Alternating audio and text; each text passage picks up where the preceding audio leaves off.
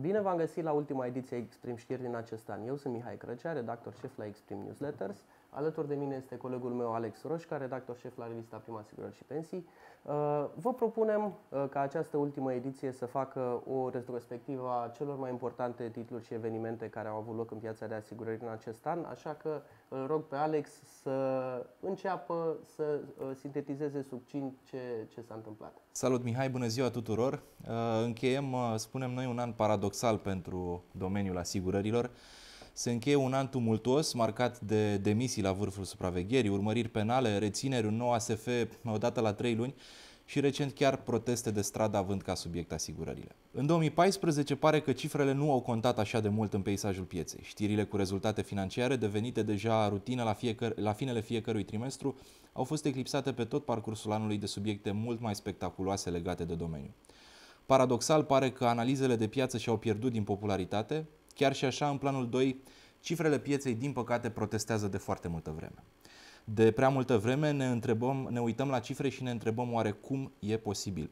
De prea multă vreme acest domeniu este prins între vocea asiguraților care își doresc în mod firesc asigurări ieftine, despăgubiri rapide și de valoare cât mai mare și de prea multă vreme asigurătorii sunt prinși intenționat sau conjunctural între lupta prețurilor mici, daune în creștere și insatisfacția asiguraților. Mirajul de moment al cotelor de piață și goana după cash au condus de fapt la servicii de slabă calitate, iar paradoxul e și aici că ne dorim menținerea prețurilor mici, dar și servicii de calitate. 2014 se încheie sub semnul acestei uh, situații paradoxale, iar actorii pieței, companii, broker sau supraveghetori, vor fi obligați să rezolve în cel mult câteva luni probleme acumulate în ani. Dar să vedem care au fost principalele momente ale anului 2014. Da, propun așadar să începem cu luna ianuarie. Uh, primul eveniment uh, care a marcat începutul acestui an a fost uh, Xpin Forecast, unde liderii din piața de asigurări au făcut previziuni cu privire la ceea ce urma să-i aștepte în anul 2014. Vom vedea câte dintre ele se vor și concretiza. O altă știre importantă a lunii a fost că BCR Asigurări de Viață, una dintre cele mai importante companii de profil de pe piața românească, Um, a renunțat la o mare parte din forța sa de vânzare, a restructurat uh, distribuția și a închis 24 de agenții. Uh, o altă știre uh, mai importantă, aș spune eu, a fost faptul că ASF a confirmat derularea unei anchete derulate de către Direcția Națională Anticorupție și care avea ca obiect compania de asigurări Carpatica ASIG. Vom vedea că acest eveniment practic a influențat Uh, succesiv sau a influențat succesiunea de evenimente ce a urmat uh, pe parcursul anului. Am avut și niște rezoluții DNA în dosarul ASF. Pentru 5 persoane a fost început uh, urmărirea penală, dintre care 3 persoane au fost reținute pentru 24 de ore. Apoi ASF, în urma acestor evenimente, a dispus reevaluarea contractelor de reasigurare ale Carpatica ASIG, și a solicitat informații suplimentare cu privire la indicatorii de solvabilitate și lichiditate. Uh, cum spuneam, toate acestea au fost măsuri ale anchetei începute de Direcția Națională Anticorupție. Da, mergem mai departe. Luna februarie, luna februarie care a început așa cum s-a încheiat luna ianuarie, dar înainte de asta o precizare, dacă anul trecut uh, uh, prima știre a anului a fost legată de Extreme Forecast 2014, 26 uh, ianuarie 2015 este data la care are loc Exprim uh, Annual Forecast pentru uh, anul următor. Spuneam de luna februarie 2014, care începe cu niște informații cu privire la posibilitatea ca Astra Asigurări să-și fi subevaluat nivelul daunelor cu 40%. Atât autoritatea de supraveghere cât și Astra Asigurări au, au reacționat. Vom vedea ecourile în, în rândurile următoare. Uh, au loc în luna februarie și alegeri uh, în cadrul UNSAR, iar adunarea generală a Uniunii îl reconfirmă, uh, reconfirmă Alianț Siriac, uh, compania care deține președinția pentru încă un mandat de trei ani. Tot în luna februarie, urmarea uh, disputelor uh, pe marginea subiectului Astra Asigurări, Victor Ponta transmite un mesaj pentru piață să nu ajungem într-o situație de tipul too big to save. Uh, urmarea scandalului uh, Carpatica și a anchetelor uh, DNA, Marian Mărzac demisionează din funcția de membru neexecutiv în Consiliul ASF și, ulterior, autoritatea de supraveghere plasează Astra Asigurări sub administrare specială. Care cred că e una dintre cele mai importante știri ale anului. Exact. Tot în luna februarie, așa cum v-am obișnuit, are loc cea de-a treia ediție a premiilor brokerilor de, de asigurare. Uh, cea de-a patra ediție a premiilor brokerilor de asigurare va avea loc pe 18 februarie 2015. Uh, luna februarie se încheie cu o știre cum altfel tot legată de DNA, care anunță începerea urmăririi penale împotriva lui Dan Radu Rușanu, uh, președintele Autorității de Supraveghere Financiară de la acea dată, în, în sarcina căruia s-au reținut infracțiuni legate de dosarul Carpatica ASIG. Acesta este reținut și pentru 24 de ore. Mai departe, în luna martie, cele începute, să spunem, în uh, primele luni ale anului, ianuarie și februarie, au avut ca rezultat demisia lui Dan Radu Rușanu din funcția de președinte al ASF, Uh, apoi uh, DNA uh, a demarat urmărirea penală și față de Corneliu Moldoveanu, cel care deținea funcția de vicepreședinte al sectorului de asigurări și de asemenea, din punct de vedere al evenimentelor care au avut loc în luna martie, la aparatul Parlamentului s-a desfășurat conferința națională de risk management, Uh, unul dintre primele evenimente de acest fel care s-a adresat uh, acestui concept, aș putea spune relativ nou pe piața de asigurări din România, acela de risk management. Uh, de asemenea, un alt eveniment foarte important a fost uh, Conferința Europeană de Protecție a Consumatorilor, uh, a cărei uh, ediție ulterioară uh, uh, va fi organizată uh, anul viitor uh, pe 12 martie. Încercăm să facem acest eveniment unul tradițional. Tot în luna martie a avut loc și propunerea oficială a lui Mișu Negrițoiu, fostul uh, președinte la, al ING Bank România, pentru uh, a prelua funcția de președinte al Autorității de Supraveghere Financiară. Și să nu uităm că tot în martie a avut loc și gala premiilor pieței asigurărilor, unde au fost acordate premiile, premiile pieței. Luna aprilie începe cu o știre despre Astra Asigurări. Administrator, administratorul special KPMG, KPMG Advisory afirmă că asigurătorul trebuie să-și majoreze capitalul social cu circa 110 milioane de euro. Tot în luna aprilie are loc la Istanbul uh, International Insurance Forum, un eveniment organizat de Media Exprim și Istanbul Underwriting Center, dedicat problemelor uh, actuale ale segmentului asigurărilor auto. Și cu această ocazie Media Exprim a lansat și Motor Insurance Report, o publicație care a reunit rapoarte despre piața asigurărilor auto din 32 de țări. În luna mai, uh, executivul a aprobat prin hotărâre de guvern pachetul de servicii medicale de bază, lucru așteptat de foarte mulți jucători de pe piața asigurărilor de sănătate. Apoi, uh, Dan Adamescu, omul care controlează indirect societatea Astra Asigurări, a fost pus sub urmărire penală pentru dare de mită uh, într-un caz care nu avea într-adevăr legătură cu piața asigurărilor.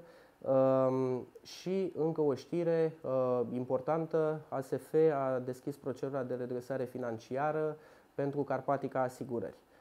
La finele lunii mai, așa cum v-am obișnuit în mod tradițional, a avut loc cea de-a 17-a ediție a FIAR, Forumul Internațional Asigurări Asigurări, de data aceasta uh, organizat în premieră la Brașov.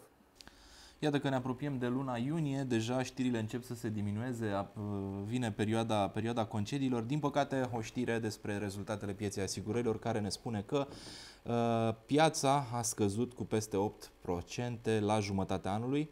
În același timp, uh, daunele pe, pentru vătămări corporale au crescut cu 70% în primul semestru anului. Și o altă știre pozitivă este că uh, un SAR a aniversat în luna iunie 20 de ani de activitate. În luna iulie uh, avem parte de uh, lansarea spre dezbatere publică al unui proiect al Autorității de Supraveghere Financiară care prevedea mai multe elemente controversate, printre care limitarea comisiunilor brokerilor uh, de asigurare pentru vânzarea polițelor RCA la 10%.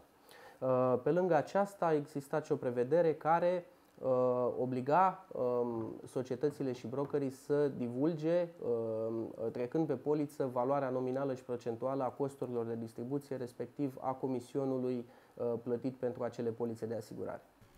Luna septembrie a adus prima ediție a studiului Extreme Property Insurance Report, care a fost lansată la Monte Carlo. În același timp, în luna septembrie, Cornel Coca Constantinescu a devenit prim vicepreședinte al Autorității de Supraveghere Financiară, iar Marius Vornicianu vicepreședinte responsabil de asigurări. Totodată, piața de asigurări a scăzut uh, cu 6% în primele luni ale anului. Prima medie pe asigurările de răspundere civilă auto a crescut cu 3% în primele 9 luni, iar plățile pentru vătămări corporale s-au majorat, din păcate, cu 40%. La fel ca și anul trecut, uh, luna octombrie a fost uh, denumită luna, generic Luna Asigurărilor de Locuințe, uh, perioadă în care s-a desfășurat o amplă campanie de informare cu privire la uh, protecția locuinței și a mijlocelor pe care proprietarii le au la dispoziție pentru a se proteja mai bine pentru, tot, pentru o gamă foarte largă de riscuri. De asemenea, are loc sub aceeași egidă a lunii asigurării locuințelor a noua ediție a ICAR Forum, care a tratat uh, pe larg riscurile catastrofale care amenință România. Uh, de asemenea, a avut loc conferința Cyber Risks in Financial Services, care a reunit peste 200 de specialiști, uh, aceștia dezbătând în detaliu diverse amenințări din mediul informatic care pot afecta semnificativ mediul financiar. Uh, nu în ultimul rând, Media Exprim a organizat pentru al șaselea an consecutiv la Baden-Baden Exprim Reception, uh, eveniment adresat partenerilor și specialiștilor din piețele internaționale de asigurări și reasigurări. Uh, de menționat este că la Baden-Baden au avut loc patru evenimente și au fost lansate cinci publicații internaționale sub marca Exprim. Luna noiembrie clarifică situația normei RCA. Aceasta este adoptată de autoritatea de supraveghere. Uh, cea mai importantă măsură sau uh, cea mai importantă clarificare vine din faptul că, așa cum amintea și colegul meu Mihai mai devreme, uh, comisionul brokerilor nu este plafonat la 10%, dar va fi specificat pe polița de asigurare, la fel de altfel ca și cheltuielile de, de achiziție din partea companiilor de asigurare. Uh, luna decembrie începe cu proteste, proteste de stradă cu privire la situația din asigurări, în special uh, cu privire la tarife, o serie de probleme ridicate de Asociația service, Societăților de Servicii Independente și practic anul se încheie cu, cu, aceste, cu aceste discuții și rămâne ca în perioada următoare, în următoarele luni, să fie luate măsurile care se cuvin pentru ca piața să se îndrepte către uh, o atmosferă de stabilitate, de echilibru. Încă o știre de ultimă oră aș mai puncta eu aici. Chiar azi a fost anunțat că subsidiara din România a grupului francez AXA va fi preluată de Certinvest și SIF Transilvania. Uh, menționăm că este a doua încercare de vânzare a operațiunilor AXA din România după ce prima a eșuat, uh, fiind, uh, cumpărătorul fiind Astra Asigurări, dar în urma intrării în procedură de administrare specială, compania nu a mai putut finaliza această tranzacție. În încheiere, Mihai, propun să trecem foarte pe scurt prin evenimentele pieței asigurărilor anunțate pentru, pentru anul următor. Aș începe cu evenimentele pentru piața asigurărilor și piața pensiilor private, în principal organizate de, de Media Exprim. Aș începe cu data de 19 ianuarie 2015, are loc conferința națională de pensii private. Pe 26 ianuarie, Exprim Forecast Meeting, la fel ca și anul trecut, uh, liderii și specialiștii din asigurări se vor reuni pentru a face previziuni, previziuni referitoare la ce ne așteaptă în anul 2015 în sectorul de asigurări. 18 februarie 2015 este data pe care trebuie să notați în calendar și să rețineți că în Club Tribute va, vor avea loc premiile brokerilor de asigurare. Pe 11 martie, Conferința Națională de Risk Management, vom continua uh, cele dezbătute anul trecut, uh, dat fiind că este vorba de un subiect care capătă din ce în ce mai multă importanță. European, Consumer, uh, European Conference on Consumer Protection in Financial Services, a doua ediție, are loc pe data de 12 martie 2015. Gala premiilor pieței asigurărilor, unul dintre cele mai așteptate evenimente ale pieței, va avea loc pe 25 martie Uh, la Hotel Radisson, dacă nu la greșesc. Hotel Radisson, sala Atlas, ca de obicei, așa cum v-am obișnuit în ultimii ani. Următorul eveniment, în luna aprilie, 19-20 aprilie, are loc International Insurance uh, Forum uh, la Istanbul, în Turcia. Pentru a doua oară, cum spuneam și mai devreme, în Brașov, în perioada 17-21 mai, va avea loc Forumul Internațional Asigurări Asigurări. Pe 4-5 iunie, în Azerbaijan, la Baku, Media Exprim organizează Azerbaijan International Insurance Forum. Ne îndreptăm așadar către evenimentele de toamnă. Pe 7 octombrie, la București, ICAR, International Catastrophic Risks Forum. 8 octombrie 2015 este data la care va avea loc a doua ediție a Cyber Risks in Financial Services Conference. O nouă serie de evenimente la Baden-Baden. Avem pe 18 octombrie Exprim Reception, Uh, în aceeași seară, uh, Media Exprim organizează alături de Asociația Asigurătorilor din Azerbaijan seara zeră. Tot pe 18 octombrie va avea loc seara japoneză, iar pe 20 octombrie seara turcească. Iar anul se încheie din punctul de vedere al evenimentelor. Iată că am început cu Conferința Națională a Pensiilor Private pe 19 ianuarie 2015, continuăm cu alte evenimente dedicate pieței asigurărilor și încheiem pe 23 noiembrie cu a doua ediție a Conferinței Naționale a Pieței de Capital din punctul de vedere al evenimentelor. Cam acesta este calendarul pe care îl găsiți disponibil și pe unoasic.ro.